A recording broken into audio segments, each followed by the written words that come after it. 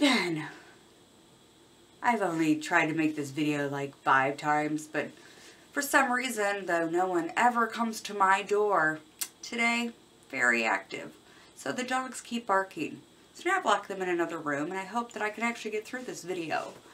Because I have a confession to make. Yes. It's been a long time since my last confession, but here it goes. I often feel like a fraud. I know. It's amazing to me too, but I often feel like I'm a fraud. I know that I have had 25 plus years experience in geriatric healthcare. I know that I have worked with hundreds of families. I know that I have written two books and I have cared for numerous family members. However, there's part of me that often still feels like a fraud. Like I don't know what I'm doing, like I'm in over my head. But you know what? That's normal. It's normal for any of us to feel overwhelmed, feel like we don't know what we're doing because caregiving, it's hard. And though I know in my knower that I have had all of those years of experience, I have helped families, I have written books that have helped people, and I have helped my own family members. It's really, really difficult to just look at that and say, all right, I feel good about that. Because there's so much more that needs to happen. There's so much more that needs to get out there. There's more information. There's more education that needs to happen on caregiving and aging issues. Which is why I get up every day and try to make a difference.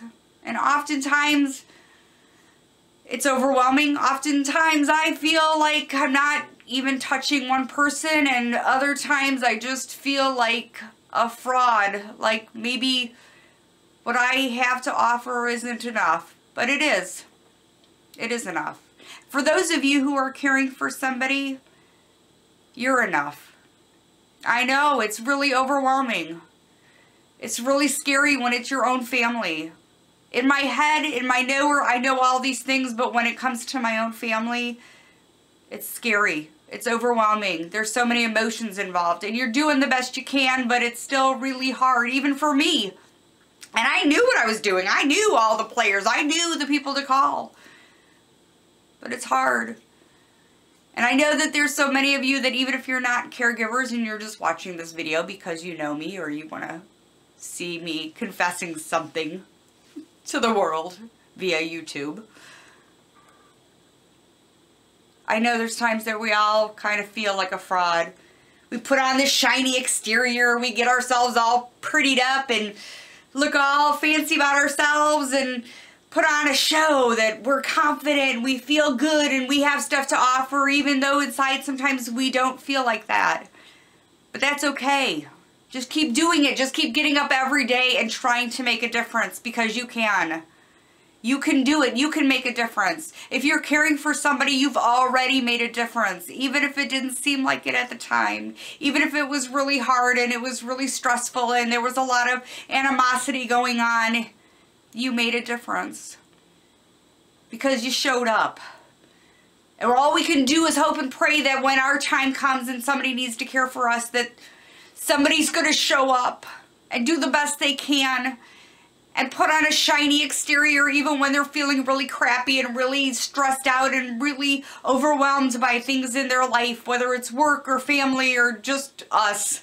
because I'll tell you right now that when I'm old and I have health issues, I'm probably going to be crabby. So, to those of you who will end up caring for me, I'll tell you ahead of time that I appreciate you, even if I won't do it at the time because you showed up. So just keep showing up even if you feel like a fraud, even if you feel like you may not have something to offer, you do. If you woke up this morning, you have something to offer. We all do.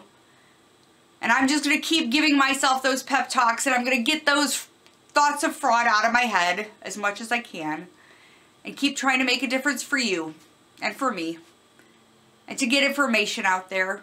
So I encourage you, if you are caring for someone, please read through the different blogs on the workingcaregiver.org because there's information there that can really help you or somebody that you know.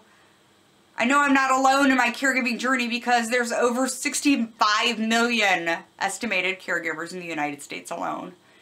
We're in this together, and I'm here to help.